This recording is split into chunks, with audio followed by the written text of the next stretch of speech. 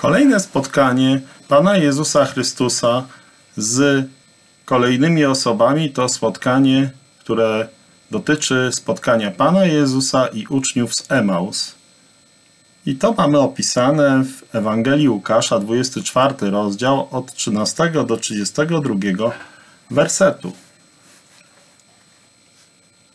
A on rzekł do nich, o głupi i gnuśnego serca, by uwierzyć we wszystko, co powiedzieli prorocy. Czyż Chrystus nie musiał tego wycierpieć, by wejść do swojej chwały? I począwszy od Mojżesza poprzez wszystkich proroków, wykładał im, co o nim było napisane we wszystkich pismach. Ci uczniowie, którzy spotkali Pana Jezusa, tak jakby chcieli, żeby został z nimi i tak właśnie się zachowywali. Zmartwieni i zniechęceni dwaj uczniowie opuścili wierzących w Jerozolimie i udali się do Emaus. Powodem tego było ich rozczarowanie. Pan Jezus Chrystus nie pozwolił swoim dzieciom tak po prostu odejść. Przyłączył się do nich, uważnie się im przysłuchując i szczerze zainteresował się stanem ich duszy. W ten sposób zdobył ich zaufanie. Dobry Panie, jakże często i my mogliśmy doświadczyć tej samej łaskawej opieki. Aby poradzić sobie w trudnych sytuacjach, potrzebujemy Jego słowa. Dlatego też Pan Jezus Chrystus rozmawiał z nimi. Najpierw dotknął ich czułego punktu. Oni nie umieli rozpoznać Bożego światła. Ociężałe serca uczniów wskazują, że ich miłość do Pana Jezusa Chrystusa ledwo się tliła. Pan Jezus Chrystus widzi, że traktowali oni Słowo Boże jedynie powierzchownie. Nie wierzyli we wszystko, co mówili prorocy. Także i my jesteśmy w niebezpieczeństwie, aby zwracać uwagę tylko na to, co jest po naszej myśli, a pomijać wypowiedzi, które nie są dla nas miłe.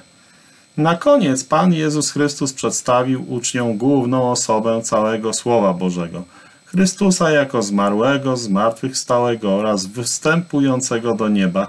On jest wiodącym tematem pism Starego i Nowego Testamentu. Czyż Chrystus nie musiał tego wycierpieć, by wejść do swojej chwały?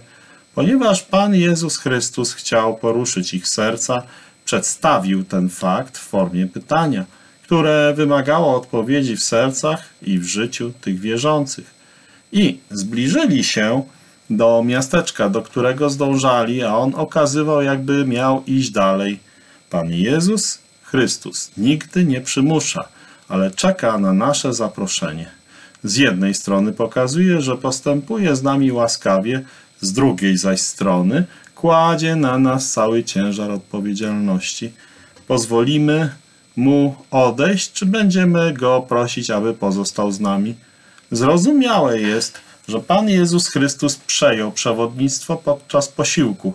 Zdecydowana gotowość, aby wpuścić go w praktyce do swojego życia, powoduje, że staje się on Panem Panem w każdej dziedzinie naszego życia. Błogosławieństwem oraz łamaniem chleba rozpoczął posiłek, jednakże jego zamiarem było poprzez te czynności skierować myśli zebranych na jego ofiarną śmierć. Wtedy otworzyły się ich oczy i poznali go. Prawdopodobnie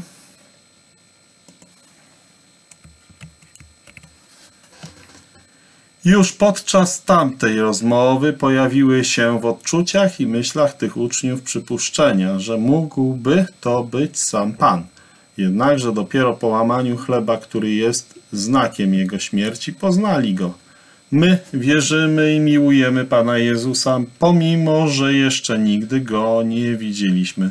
Tęsknimy za tym, aby już nie tylko móc wierzyć, ale także Go oglądać. Każdy z nas wie, w niebie od razu rozpoznam Pana, po ranach na Jego rękach.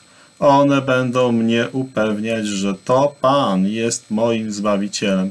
Napełniony Jego miłością będę po całą wieczność dziękować Mu za Jego